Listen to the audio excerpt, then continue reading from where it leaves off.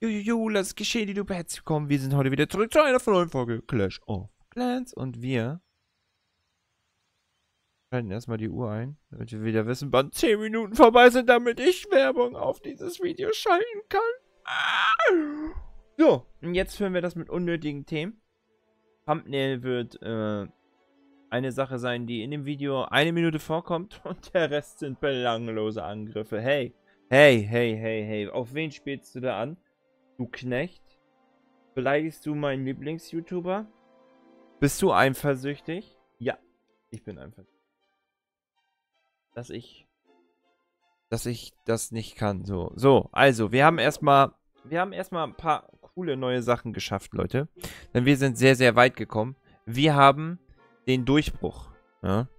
Und das zeige ich euch jetzt, wenn ich hier mal nebenbei alles auf leise gestellt habe. Und jetzt kommt's, Leute.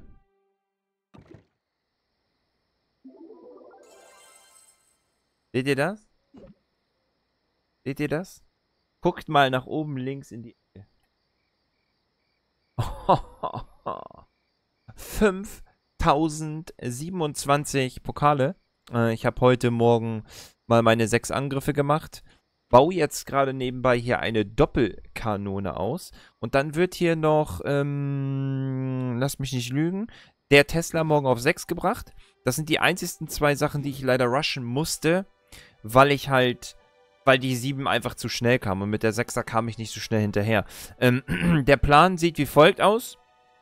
Wenn die Doppelkanone auf 6 ist, werde ich morgen meine drei Angriffe machen. Dann geht die Kampfmaschine schon auf Level 14. Dann warte ich wieder zwei Tage. Dann habe ich nämlich zwei neue Angriffe. Nebenbei wird diese Mauer hier noch auf 4 gemacht. Dann haben wir alle Mauern erstmal einheitlich auf 4. Dann wird der Tesla ausgebaut. Danach müsste ich dann ungefähr wieder so viel haben, dass ich später dann die Kracher mache. Also ich habe mich nämlich dazu entschieden, das so zu machen, dass ich, wenn ich äh, das Rathaus ausbaue, das MH ausbaue, also für euch auch den Tipp, erstmal die ganzen großen Sachen auf Level 7, ganz wichtig, weil die dauern am längsten. Und danach würde ich euch wirklich empfehlen, die äh, Kracher erstmal auf Level 7 zu bringen.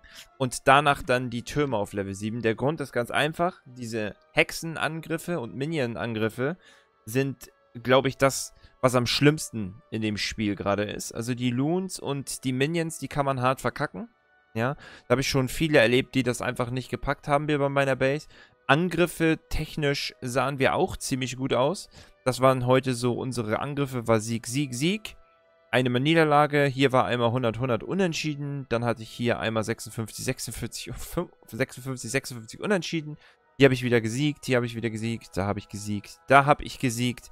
Und das ist halt, ähm, ja, ich finde es schon ganz cool. Die Base äh, hält äh, auf jeden Fall das, was sie verspricht.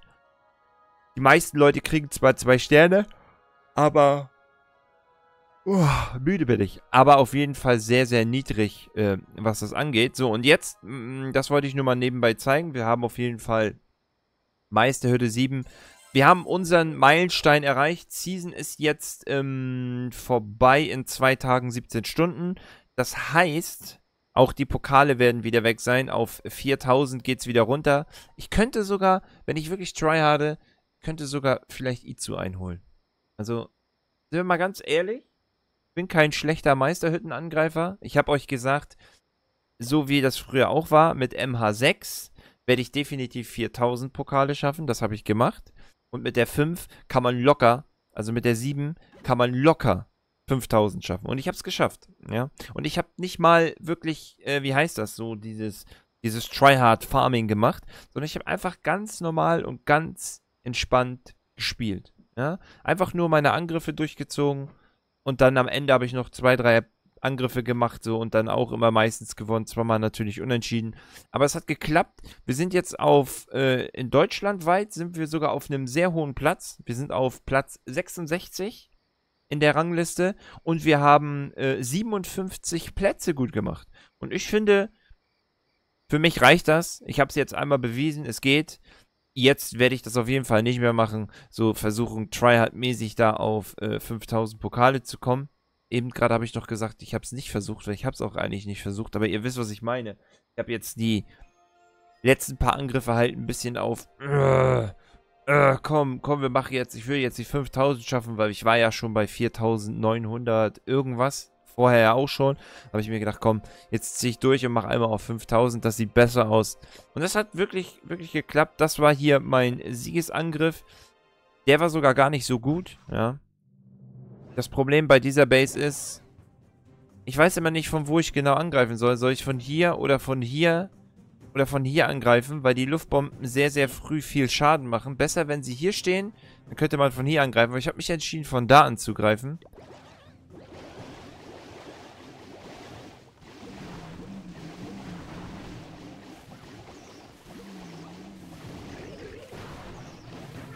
Wir lassen das mal Revue passieren. Da, hab, da war ich ganz froh, dass der Brutzler hier meine Minions getroffen hatte.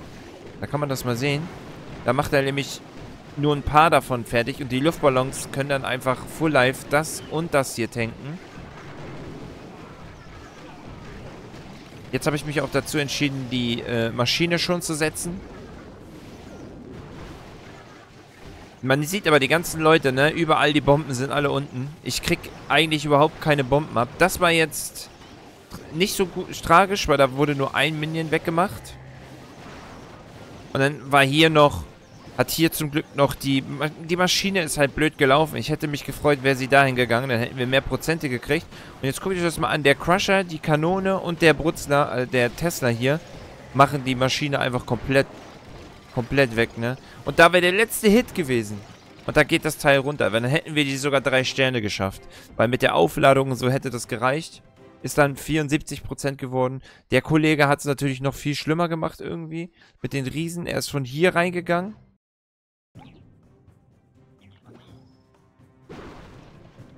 Aber es ist halt immer das Gleiche, ne? Was die Leute spielen. Die Barbaren, Barbaren, Barbaren, Barbaren.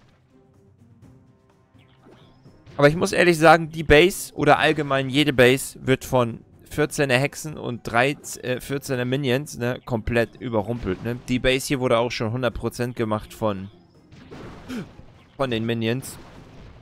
Könnt ihr euch nicht vorstellen. Ist, das ist einfach so krank. Das ist eine Riesenbombe. Die wurde leider von einem Riesen ausgelöst, was nicht so gut ist. Ne? In dem Bereich da oben. Hier war eine schöne Falle. Da ist ein Riese schon mal weg. Das heißt, er hat nur noch jetzt drei Stück. Hier setzen kann aber auf Level 14. Guckt euch das mal an, was der tankt, der Riese. Ich glaube, die haben irgendwie 2000, 3000 Leben oder so. Ich weiß es gar nicht. Nee, so viel haben die gar nicht, oder? Haben die so viel Leben? Ich weiß es gar nicht. Wir müssen gleich mal gucken. Auf jeden Fall haben die auch schon ziemlich viel Leben. Man sieht das ja, wie viel die hier wegtanken. Er setzt sie dann hier rein die Riesenkanone kann immer noch sehr viel Damage machen. Jetzt guckt euch das mal an, wie die Maschine von dem Kracher, von dem Crusher vergewaltigt wird. Das ist so krass.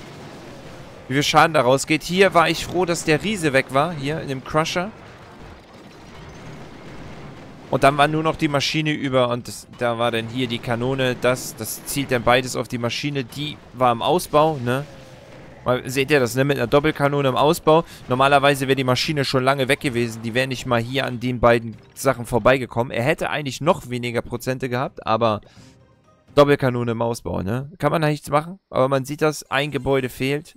Es kann schon ganz schön wehtun. Man sieht jetzt auch, ähm, bei uns im Clan, der, M der MT ist ein bisschen runtergeknallt, aber das ist, der ist halt größenwahnsinnig, ne? Er greift halt an äh, mit dem Brutzler im Ausbau, aber er hat auch gesagt, ihm sind die Pokale nicht wichtig, mir auch nicht, aber ich wollte halt unbedingt 5000 erreichen, damit ich das einfach mal zeigen kann, dass es auch klappt, ne? Und das Ding ist, er hat halt gesagt, ja, mit einem Brutzler im Ausbau, wenn ich damit angreife und ich verliere Pokale, ist es ja egal. Er hat auch recht. Er hat einen Polster von 600 Pokalen. Ne? Das heißt, er kann mit dem Brutzler angreifen und ruhig ein paar Mal verlieren. Ist eigentlich völlig egal. Und man sieht ja, er hat ja trotzdem gewonnen und hat seine äh, Sachen, die er braucht, bekommen. Und das ist eigentlich schon ganz cool. Ja, das, das ist das, das ist das, was zählt. Und mir ist es jetzt im Endeffekt auch egal, ob ich nächste Season nur bei 4300 Pokalen bin oder 4400, 4500 oder 4200. Solange ich meinen Loot bekomme, den, den ich brauche, ist eigentlich alles okay. Und jetzt äh, nochmal zu dem äh, Event, das hier startet. Hier ist ein Event. Ja. Das heutige Event Das geht jetzt irgendwie drei Tage. Da ist ein Golem, elf Magier und zwei Packer müssen benutzt werden. Als Rathaus 9er kann ich euch nur empfehlen, ähm, die Kombination so zu machen. Das ist Golem, zwei Packer, 15 Magier, 14 Riesen, ein Babydrache.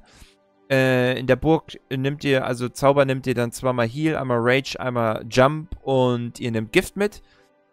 Natürlich eure Helden, wenn sie denn wach sind. Dann habt ihr in der Clanburg nur Riesen drinne die mir bis jetzt immer noch nicht gespendet wurden für Batman, weil keiner online ist. Aber ist egal, ich kann ja ich kann mir ja gleich selber. Ich mach's mir gleich selber. Ja, das ist immer so, ich besorg's mir dann immer selber. Ich nehme dann einfach meinen anderen Account und dann spende ich mir Riesen. Die sind da zwar nur Level 5, aber ist auch nicht so schlimm. Aber das ist so die Taktik. Funktioniert auch eigentlich ganz gut. Wo sieht man hier die Angriffe? Da. Mein Angriffslog. Ja, 2000, 2000, 4000. Da habe ich jetzt, ich glaube, das war ein Zehner. Da habe ich Glück gehabt irgendwie. Ja, das war ein Zehner. Der ist aber auch gerade erst 10 geworden. Oder er ist schon ein bisschen länger 10, aber er ist halt ein Rusher, ne? Rusher in dem Sinne, jetzt denkt ihr, hä, wo ist der gerusht? Ich klicke einfach nur drauf. Ne? Ihr, das Problem ist, ich sehe viele, die ihre Wände nicht machen. Leute, die Wände sind mit das Wichtigste in der Base. Seine Helden. 21 und 20. Das Ding ist, die Helden könnten 30 sein. Jetzt muss er nochmal 20 Level leveln. Äh, das ist Bullshit. Das Ding ist aber, die Base war AFK. Das war gut, das ist eine AFK-Base gewesen. Er ist in keinem Clan gewesen. Seine X-Bögen sind komplett leer. Drei Stück. Seine Infernos sind tot. War für mich perfekt. Hier unten, das Ding war voll. Das Teil war voll. Und das Ding war voll. Dann kann man mal sehen, wie ich das hole. Hier oben setze ich den Golem ran, setze da ein paar Magier rundherum. Lass die Welle da oben angreifen. Dann setze ich hier irgendwie alle Riesen, die ich hatte. Einmal den King dazu, noch ein paar Riesen, außer die Clanburg-Riesen, alle noch. Keine Ahnung, warum ich das so gemacht habe. Ah ja, doch, genau. Und dann die Magier darum. Und dann habe ich hier die zwei Packer gesetzt. Und dann hier nochmal die restlichen Magier drum und habe den Babydrachen behalten. Hier die Prinzessin habe ich gegiftet einmal kurz. Hätte ich gar nicht machen brauchen, weil die zwei Päcker haben die so schnell weggehabt. Ja, dann habe ich Jumpspell gemacht, damit sie reingehen. Wollten sie aber nicht. Und den einen Magier habe ich dann auf die Dings gesetzt. Und da habe ich die dunklen Lager gekriegt. Da habe ich dann 4000. Jetzt habe ich nur auf Krampf noch versucht, weil ein Zehner, ne, der hat schon starke... Er hat schon ein bisschen was stark da drinnen. Das tut schon ganz schön weh, wenn da so eine Kanone draufballert. Und habt ihr nur noch auf Krampf versucht, die Prozente zu kriegen. Hatte ich 52% und dann habe ich den Kampf abgebrochen, weil Gold, Elixier, wissen wir, bei, wissen wir alle, brauche ich nicht. Ne? Ich brauche nur Dunkles und bei 4000 Dunkles sage ich nicht nein, da gehe ich rein. Entschuldigung. Entschuldigung. Die Pferde sind wieder mit mir durchgegangen. Nein, das war es auf jeden Fall von mir. Ähm, ich werde jetzt die nächsten Tage oder Zeiten mal wieder ein bisschen mehr Clash auf Clans machen und auch vielleicht sogar mal CK-Angriffe zeigen, weil ich weiß, ich weiß nicht, ob ihr darauf steht, so CK-Angriffe zu sehen, als Rathaus 8er zum Beispiel oder 7er, wie man da am besten im CK angreift. Wenn ihr das möchtet, sowas auch mal sehen möchtet, dann schreibt das mal in die Kommentare. Wer Zucker das zu wissen. Ich sage erstmal wieder Danke fürs Zusehen, YouTube. Danke, dass ihr meine ätzende Stimme, meine Drecksbasen und alles von mir ertragt. Danke für die Unterstützung, danke für Daumen nach oben, danke für euren Support. Bis zum nächsten Mal. Knutschi, knutschi und tschüss.